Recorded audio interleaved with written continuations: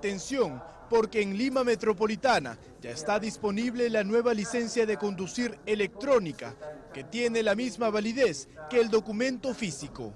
Podrán acceder aquellas personas que soliciten revalidación, recategorización, duplicado o una nueva licencia. Previamente deberán aprobar de manera presencial los exámenes médicos de conocimiento y de manejo, según el tipo de trámite a realizar.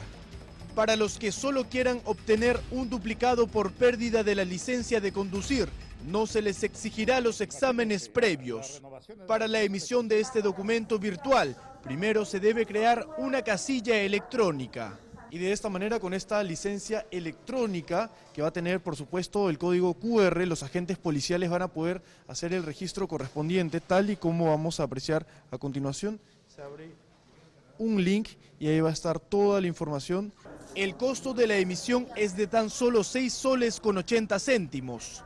Y el beneficio es poder tener la licencia en todo momento y en todo lugar a través de su celular, tablet o computadora. Hoy por eso, el, posibilitar que los ciudadanos puedan acceder a obtener su brevete, su licencia de manera electrónica, va a permitir que ese embalse que existe de requerimiento de licencias pueda rápidamente ser tramitado y hacer que todos los ciudadanos que tienen atrasadas sus licencias o no han podido eh, generar nuevas licencias lo puedan hacer en los plazos más cortos posibles. Yo buscaba un duplicado porque la verdad este, se me había extraviado.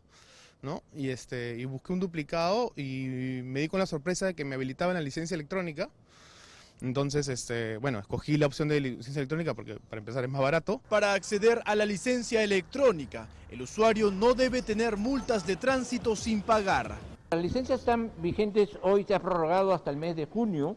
Nosotros este, hemos, tenemos diferentes momentos en los cuales se ha prorrogado la validez de la licencia. Recordemos más o menos que se otorgan aproximadamente 450 mil licencias anuales y debido a la pandemia el año pasado, el año 2020, solo se otorgaron 180 mil licencias. En esta primera etapa, la emisión de la licencia de conducir electrónica será solo en Lima Metropolitana.